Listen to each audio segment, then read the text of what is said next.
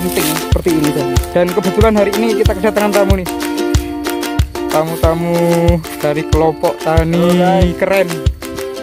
Keren guys. Pokoknya keren. mantap. Nice.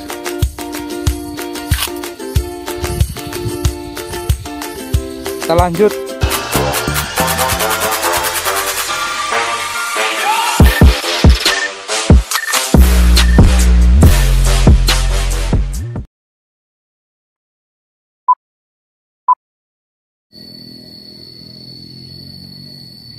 Assalamualaikum warahmatullahi wabarakatuh.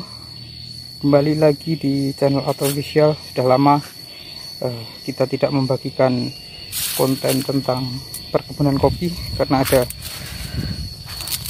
belum sempat untuk eh, membuat video di perkebunan kopi saya. Pada video kali ini kita akan melihat sejauh mana pertumbuhan kopi yang ada di perkebunan ini sambil kita menyortasi uh, kecil-kecilan saja manfaat daripada sortasi ini adalah agar uh, tanaman kopi itu lebih maksimal dalam pertumbuhan baik biji maupun batang yang akan kita ingu pada musim yang selanjutnya. Ini penting karena sortasi itu adalah bagian daripada pengelolaan perkebunan kopi sehingganya itu perlu kita lakukan di dalam uh, pengolahan di perkebunan kita masing-masing. Baik, lanjut saja kita langsung ini kopi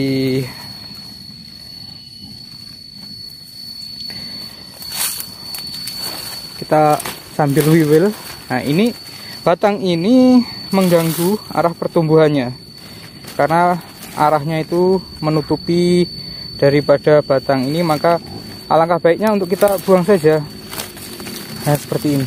Agar apa? Agar pertumbuhannya menjadi kita menyortasi tunas-tunas yang tidak penting seperti ini contoh. Dan kebetulan hari ini kita kedatangan tamu nih. Tamu-tamu dari kelompok tani Halo, keren. kelompok tani keren guys Pokoknya Allah keren mantap.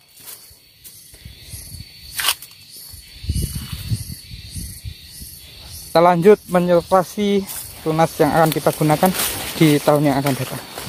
Nah seperti ini misalkan. Ini harus dibuang agar biji yang tumbuh itu lebih maksimal batang yang angka eh, kita gunakan di tahun depan itu lebih maksimal pula. Seperti itu kebiasaan saya yang lah, saya lakukan di perkebunan. Mungkin sobat tani memiliki metode-metode yang terbarukan. Silahkan tulis saja di kolom komentar. Yang jelas kita ingin menginspirasi sobat-sobat tani muda yang ada di Indonesia khususnya di Ulu Belu ini. Hei Pak gimana atas kunjungannya? Hmm? mantap.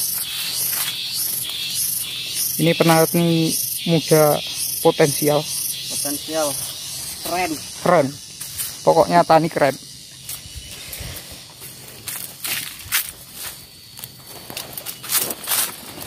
nah tunas seperti ini yang kita buang.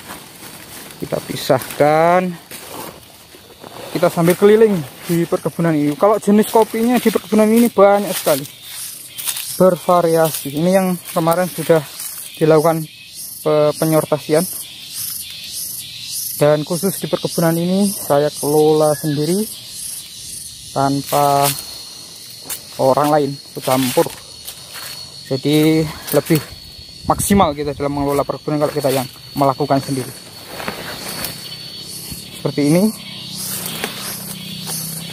Ini harus kita buang wiwilan nih sambil kita wiwil sambil kita menyortasi tunas-tunas yang seharusnya memang kita buang seperti ini. Agar kopinya itu pertumbuhannya lebih maksimal. Itu fungsi daripada uh, penyortasian seperti ini nah seperti kita jangan khawatir. Pokoknya jangan takut-takut. Ini perkebunan kita jadi bebas cara kita mengelolanya. Yang penting kita selalu mengikuti aturan-aturan yang uh, sudah ditetapkan. Jadi kita keliling lagi. Sana ya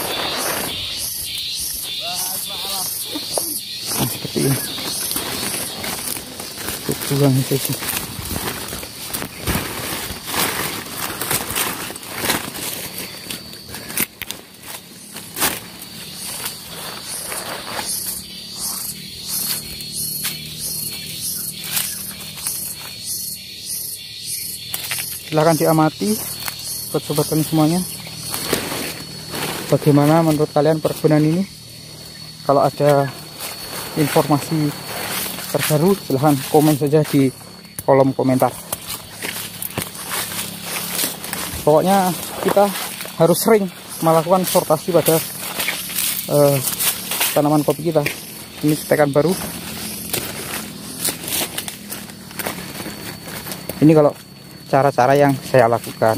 Kalau sobat tani memiliki cara lain ya monggo diterapkan di perkebunnya masing syukur-syukur kalau mau berbagi ya tulis saja di kolom komentar.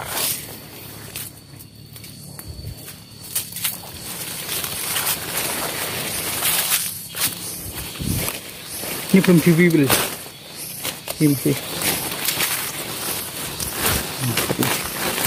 Jangan takut-takut kok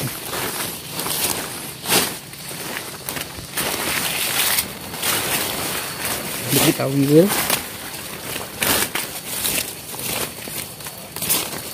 nah seperti ini. Buang.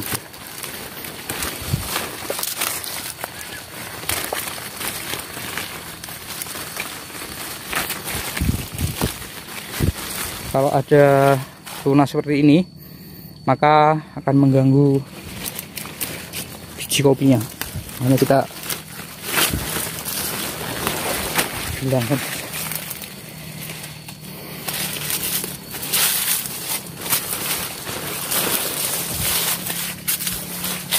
kalau buat petani semuanya ingin uh, berbagi pengalaman tentang pulang kopi bisa kita berkunjung. Tulis saja di kolom komentar. Nanti insya Allah kita akan sama-sama belajar bagaimana agar kopi yang kita kelola ini mendapatkan hasil yang maksimal tentunya. Dan hari ini saya selain sortasi juga melakukan sulam ini penting. Pokoknya setiap tahun setiap waktu ada waktu kita lakukan penyulaman. Agar kopinya itu tidak berkurang dan hasilnya tentu tidak berkurang. Baik terima kasih buat sobat tani semuanya yang sudah mengikuti channel ini. Jangan lupa untuk terus uh, like, comment, dan subscribe-nya karena subscribe itu gratis. Klik tombol merah dan nyalakan loncengnya. Sampai berjumpa kembali di konten-konten yang selanjutnya. Mohon maaf bila ada hal-hal yang tidak berkenan. Saya Assalamualaikum warahmatullahi wabarakatuh. Salam untuk petani keren di Indonesia khususnya di Ulu Belu yang kita banggakan ini. Salam kopi Ulu Belu.